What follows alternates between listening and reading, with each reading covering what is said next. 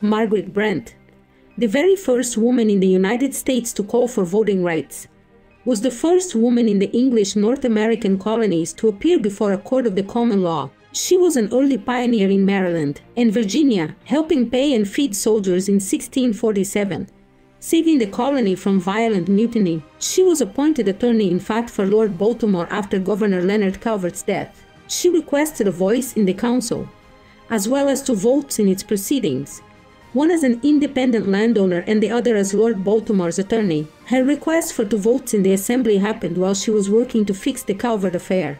Governor Thomas Greene refused her request, as the assembly considered such privileges for women to be reserved for queens.